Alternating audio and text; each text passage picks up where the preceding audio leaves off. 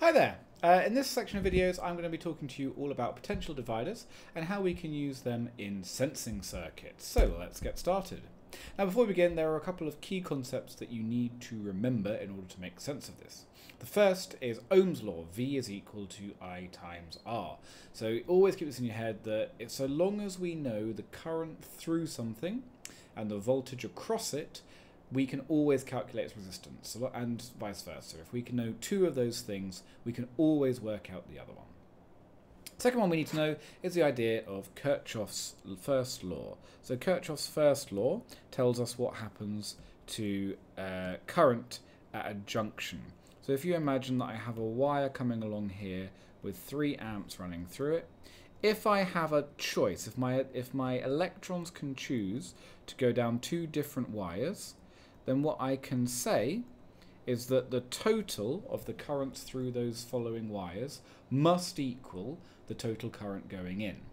Similarly, if there are no nodes, no joins in my circuit, I can say that the current is the same everywhere along it. Second thing to say is that around any closed loop in a circuit, the sum of all the EMFs, and remember EMFs are voltages from batteries or power supplies, that is always equal to the sum of the voltage of the voltages across the components. So let's say I have a 6 volt battery here. Then I can pick any loop I like. So let's just pick a loop that goes through like that. In that case, I can say that my EMF is 6. So I can say 6 is equal to, and if I call this X and Y, 6 must be equal to the voltage in X plus the voltage in Y. Now if these were identical resistors, then I would say that is equal to 3 plus 3. So each would have 3 volts. If they were different resistors, they could have different values. If I pick a different loop and go through this way, then again I can say that 6 is equal to, now there's only one thing, so if I call this Z, that must be equal to the potential through Z. There's actually one more thing that I'm going to just talk about very quickly, just to make sure you're really comfortable with it. And that is there's a third loop that goes like this. Now the interesting thing about that loop is that there are no potential, there are no EMFs, there's no batteries or power supplies. So I can say 0 is equal to, and the first thing I went through was Z, but then I went through y then x backwards. I went in the opposite direction to the way that the current was going. See how all my other loops go through it from left to right? The purple loop goes through right to left. So I can say that will then be negative y, and it will be negative x. So that becomes, if I rearrange it and take these negative things onto the other side of the equation, I can say y plus x is equal to z.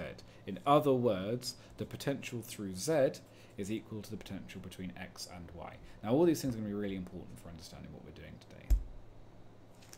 So this is a simple potential divider circuit, um, and to understand it, it's it's a pretty nice but but elegant circuit.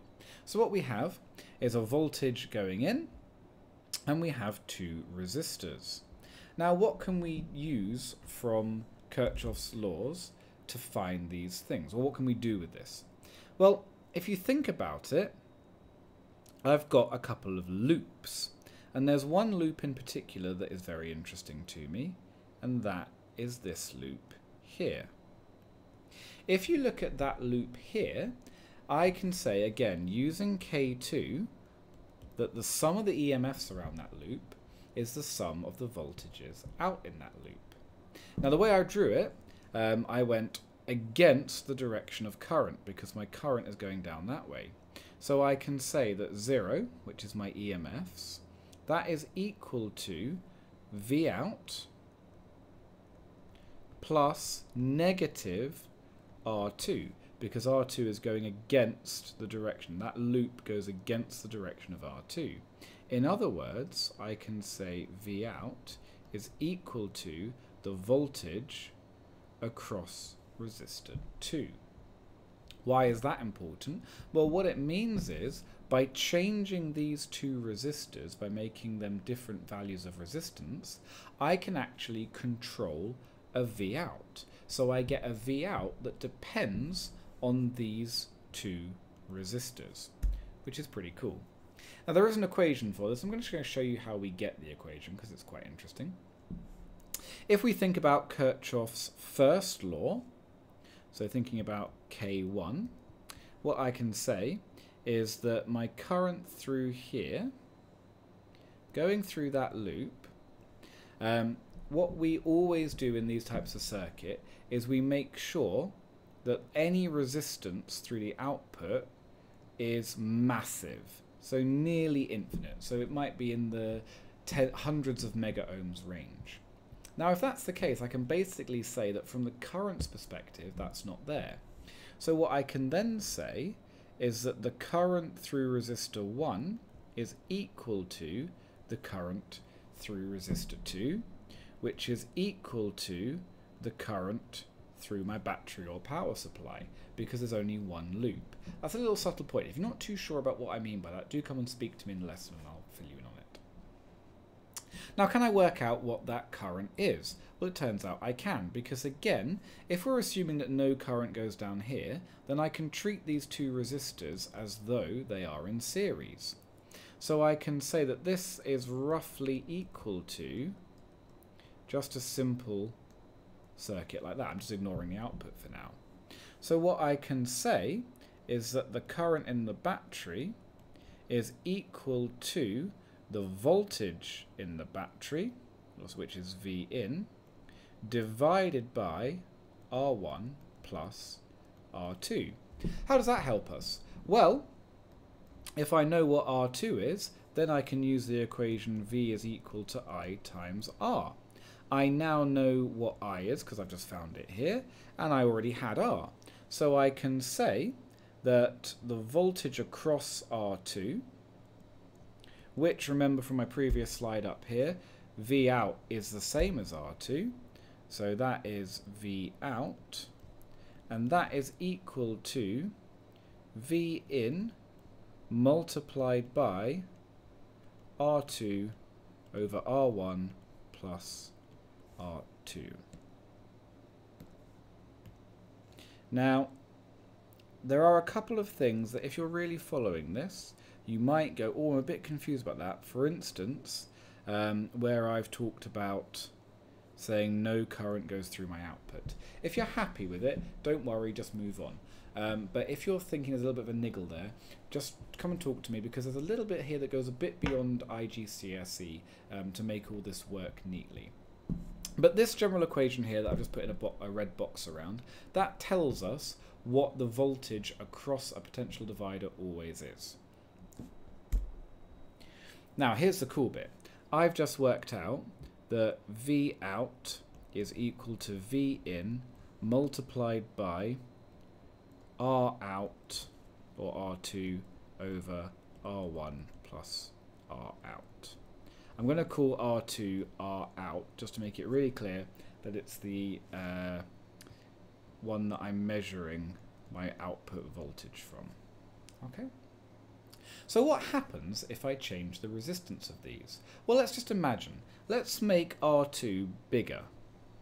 If R out, or R2, gets bigger, then both the top and the bottom of this equation is going to get bigger.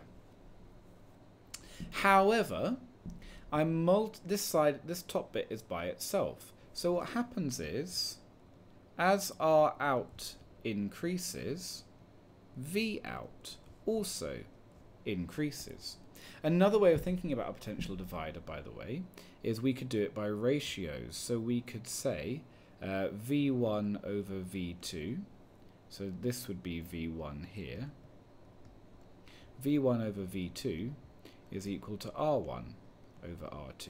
And you can see then there quite nicely. If I increase R1, V1 will increase. If I increase V2, V2 will increase. So in other words, if the resistance of this resistor goes up, this voltage goes up. And this is where sensing circuits become really important. Okay, so now we're going to think about how we can use potential dividers in sensing circuits. So there are two there are two components that we need to think about here. This component is called a thermistor, and you'll experiment with them in class. But the basic idea of a thermistor is that its resistance changes with temperature. When it's very, very cold, it has a high resistance. And as its temperature increases, its resistance drops. This is quite unusual. Most devices, as they get hotter, their resistance goes up. But a thermistor does the opposite. Another device you're going to be looking at is a light-dependent resistor. Now what this does is it senses light levels. And again, it has a similar curve to a thermistor. What happens is, as light levels go up, the resistance of it drops. So it kind of has a curve like that as well. Why is this important? Well, um, we can use these circuits in a sensing circuit like this. So let's just think about what will happen here. I have a 12 volt battery and I have a point A and B here. What will happen to this thermistor when it's cold? So when the thermistor is cold, its resistance will be high. Now because its resistance is high, I know that this will be my V out. Yeah? And this would be, we could just call this V other. Now I know that V out over V other is equal to R out over R1. I'm just going to call this R1, and this one is obviously R out. Now what I'm saying is that as it gets colder, R out is going up. That means that V out must be going up as well. So I have a device where as, some, as it gets colder, the voltage it produces goes up. Why, why might that be important? Well, let's think about how an air conditioning or a fridge works or a heater works. Um, if I want to have a heater, um, then I could say that when the voltage out reaches a certain level, when it gets high enough, switch on my heater and warm up my house. What about if I wanted an air conditioning system? Well, what I could do is I could connect my air conditioner to V other. Because what will happen as it gets hot? As it gets hot, the resistance of the thermistor will drop. Therefore, V out will go down. But V other will go up. So if I measure here at V other, and have a device that magically measures that, then I could say when the V other gets to a certain level, switch on my air conditioning unit. Um, and there are all sorts of different circuits that we're going to play with in the class that will help you understand that a little bit more. Now, there's one last thing I want to talk about very quickly before we go, and that's how we could actually switch these things on. So let's say I have a heater. As I discussed earlier, we now know that when the temperature drops, this resistance, so I'm just going to call this R here, this resistor will increase and therefore the voltage between A and B, the voltage out, will go up. So how could I use that to switch something on? Well, the classic way is with a relay. This is the usual symbol that we use for a relay. And what a relay has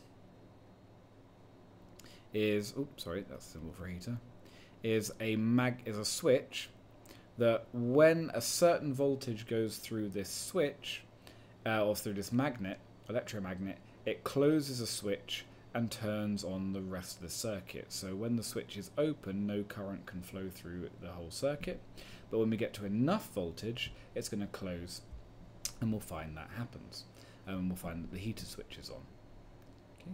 The other thing that you're going to come across are these ideas of diodes.